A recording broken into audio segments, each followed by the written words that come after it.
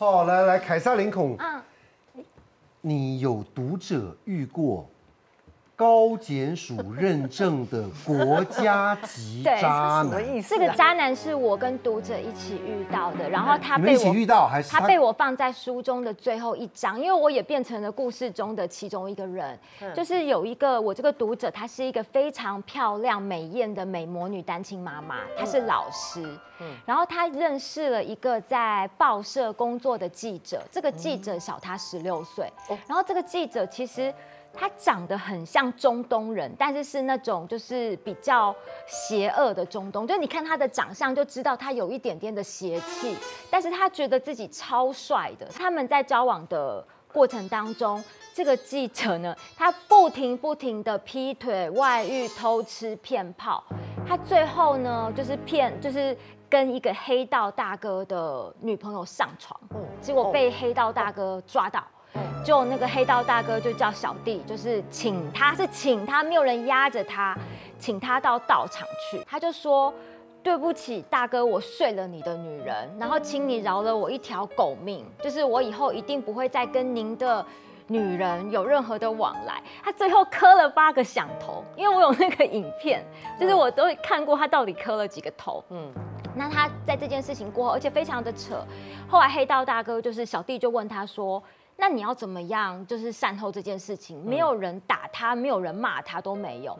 那男的就就不知道，就愣在那边。后来那单亲妈妈是陪他一起去下跪的哦，单亲妈妈在旁边看，单亲妈妈就说。不然这样好了，他说他正好有二十万，那单亲妈妈就帮他付了二十万，然后什么单亲妈妈帮他付了这件事情非常奇怪，人是他在睡，对可是是单亲妈妈在帮他付遮羞费。这单亲妈妈干嘛？对因为那个女生真的是太傻，我觉得有很多单亲妈妈都会有一些很奇怪的那种，就是觉得自己配不上别人，所以很容易去原谅别人。那单亲妈妈甚至在这件事情过后，她以为这个渣男会呃从良，因为真的是太恐怖，你被叫叫去下跪嘛。他还他想他想说好，那我就帮你买了全新的手机十二 Pro Max，然后还帮他买了全身的衣服，想说让他重新做人，像从监狱出来一样重新做人。结果呢，这个男的因为他下跪的影片，黑道大哥把他传到报社去，所以其实记者们都知道了，都有看过这样的影片。然后男生就觉得啊好丢脸，好丢脸，我不要在报社上班了。结果这时候呢，他来了一个桃花，就是他在市政府里面就是碰到他，就问他说：“哎，你要不要来当我的机要秘书？”嗯，结果这男的同意了，他就去当这个局长的机要秘书。可是因为市政府里面的生活真的非常的辛苦，他又吃不了苦。后来他真的吃不了苦，他又回到报社去工作。然后后来呢，因为他回报社工作之后呢，这个局长用了一个名目。给他每个月的特别费，就是他只要帮忙审新闻稿，他一篇就是八百块。因为那个黑道大哥有叫车子跟踪他，发现这个渣男还去基隆的铁路街嫖妓，所以就知道他这个人从头到尾都没有改过。嗯，那单亲妈妈就来跟我爆料，那时候我都是写在粉丝页上面，然后流量超高的。嗯，可是你知道吗？没有多久后，奇怪，我的粉丝页就是被停权了，然后我的 IG 也整个被。删除账号，嗯，那那时候因为有一些，其实那时候其实我的粉丝也很多记者会看，然后有一个记者就跟着报道这件事情，然后还放了他的影片，可是没多久，那个那个那个记者放的新闻的页面就显示四零四，就是都被下架了。为什么？后来我们才知道说，那单亲妈妈才告诉我说，这个渣男他的爸爸是调查局前调查局。然后呢，我的文章上架的隔天，这个渣男好久没有跟这单亲妈妈联络，他就打电话给单亲妈妈，他就说他怎么可以写我很胖？他在意的点不一样，他非常在意我在文中写他微胖，他希望我不要这样写他。然后我就觉得很奇怪，就是渣男的他他只想维持他的形象。那后来没有多久呢，呃，我的报呃我的那个出版社就跟我说收到纯正信函。就是他，因为他找不到我嘛，那我有出书嘛，他就把存证信函寄到《时报》去，他就把我写过他什么东西，然后都列出来，就是他把自己的罪状条列式就对了。嗯，反正后来就整个东西就是进入到到到法律程序，他甚至拿他下跪的影片去去警察局说也一起告那个单亲妈妈，他告我是告妨害名誉，那我觉得很奇怪啊，你没有名誉的事，你本来就没有的东西，别人要怎么妨害你？因为其实我在那一篇写完之后，很多记者都来跟我说他的事情，然后后来当然就是不起诉啊，因为我们都是讲的是真的，而且是这个男生的行为确实是危害到我们的公益，因为他是官员，然后又是。他会记者，他会用一些他的文字去改变社会上大家的想法，这是不不好的行为。那后来他被不起诉，他又不爽啊。那渣男就是一直告，一直告，他不停的提上诉，不停的提上诉，最后他交付审判。就大家可能对法律不知道，交付审判就是当你被驳回的时候，你就是永远不得再上诉。反正他就是一路挤满了四个点，就是你你你被驳回一次，你就是被盖一个渣男点。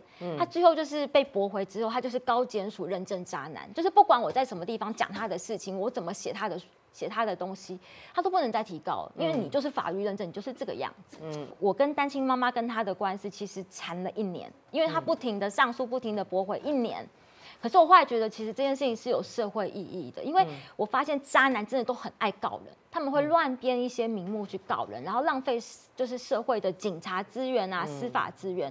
可是他们的目的只是要我要让你害怕。嗯，那我觉得女孩子不要害怕，不要就是我觉得法律有时候还其实还是长眼睛的。嗯，哎呦，谢谢你的提醒。但是呢，我们汤仲伟老师也可以提醒你哦，哈，哪些手面相的人感情上会作恶多端？嘿，来看一下手面相哦。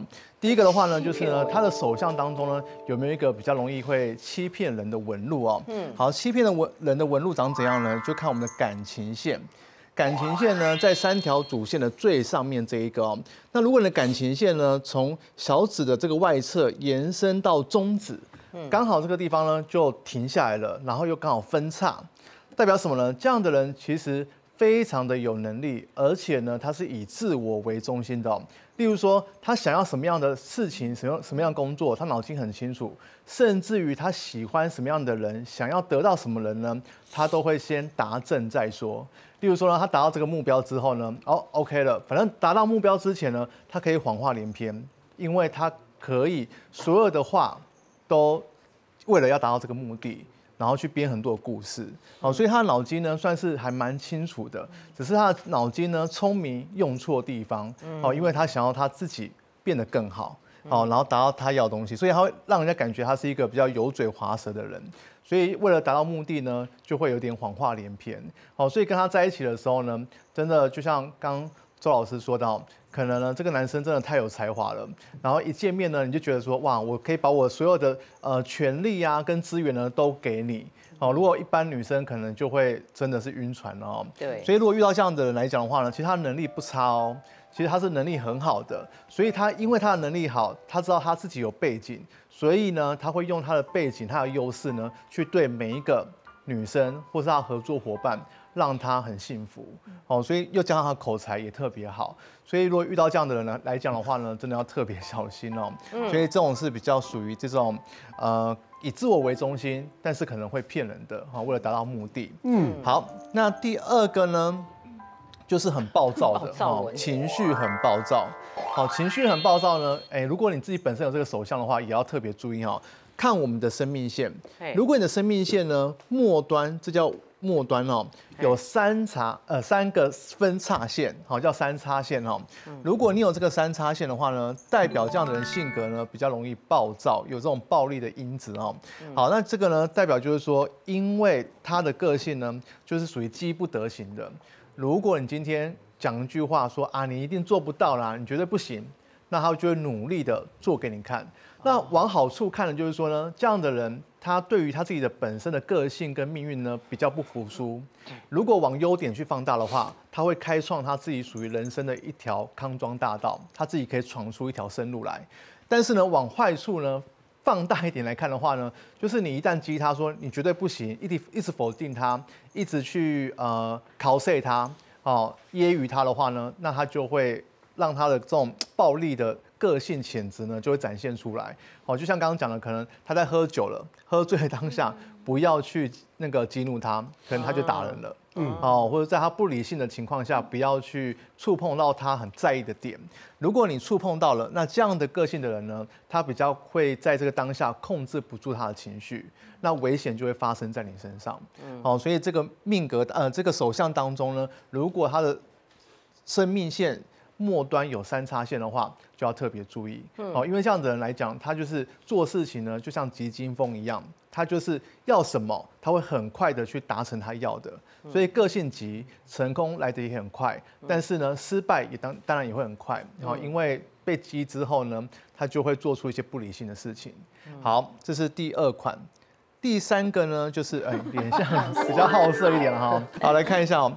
如果呢，你的眼睛好看眼神，因为眼睛呢在面相学是通心的。对。好，那如果呢你的眼睛就是属于眼白呢稍微比较浑浊，然后有一点红血丝哦。如果你最近比较累，哎，好，那当然不在此线。可是你常常看到这个人呢，他都是这种状态的话，那就要特别注意哦。嗯。如果呢他的眼白呢比较多红血丝，而且呢他的眼尾又比较下垂的，嗯。然后还有一个还有一点呢，就是他的卧蚕，嗯。卧蚕呢，就是下眼睑，哦，比较肥美，但是呢是偏灰灰的，不是过敏哦，过敏是黑眼圈。对，刚那个渣男就是长这样。对，真的。如果你的卧蚕是比较大，就是我大，然后呢又是这样灰灰的，有没有？那代表什么？纵欲过度。啊，对，就是他的那个欲望啊，还有他的情感啊的这种 肾上腺素比较强一点点哦。所以如果说当加上眼白比较浑浊啊，眼尾下垂这样的人来讲，他确实比较纸醉金迷的生活，而且呢会贪图美色。哦，例如要跟他谈任何的交易或生意，找一个像老师或在座漂亮的女生 过去陪一下就可以了哦。因为呢，只要投其所好，哦。就没问题，什么都好谈哈。有些人可能就是谈生意要喝酒，那这种人呢，谈生意呢，就是带他去这种深色场所，就一次搞定哦。为什么呢？因为他就是喜欢这种比较呃糜烂的生活，然后有女人的，有这种欢愉的地方，特别的吸引他哦，所以要特别小心哦。嗯。好，那但对感情一定没有忠诚度了哈，因为他毕竟就是什么都可以接受，什么都可以玩。好，来看一下呢，第四个花心相。哎，跟刚刚那个有什么差别呢？我们来看一下哈，这要看眉毛的部分。如果你的眉毛呢比较属于杂乱型的，而且呢眉尾比较散乱，然后呢不聚，哦不收就是不聚的意思，就是因为很散嘛，哦可能他可能变扫把眉，后面这样岔开的。好像这样的男生来讲的话呢，因为他的心性不定，他看到任何的东西都充满了所谓的好奇心，哦对这个人有好奇心，对这件事情有好奇心，那好奇宝宝。多了之后呢，他就变得不忠、不忠诚、不忠实哦，所以这样的人来讲，他相对的会比较花心一点点。那我们讲眉毛呢，是属于交友宫。如果呢，你的眉毛是从头到尾哦都是比较聚的，有有头有尾，然后中间没有断的，这样的人来讲，当然他会比较呃，就是比较有诚信。但是如果这样的人来讲话呢，他做事情半途而废。对一个人不会有耐心，哦，所以也没有说，我刚刚讲没有忠诚度。所以如果你遇到这样的男生的话呢，如果他跟你讲说，啊，我一定会给你一些什么海枯石烂的誓言啦，哦，那真的是烂嘴了哈，不可能的事情哈。所以呢，像这样的个性，如果你自己本身有这样的眉毛的话，也建议你可以去做一些美容。好，例如说画眉啊，或者是去雾眉啊，我们可以从面相相由心生，从面相呢去改变你的心性，都会有帮助的哦。所以以上的四款的手面相呢，提供给各位女性，但男性的朋友也必须要参考一下。受欢迎的命理大师，现在都在命运好好玩开运服务，包含神准算命、开运商品、开运秘法，请上网搜寻命运好好玩。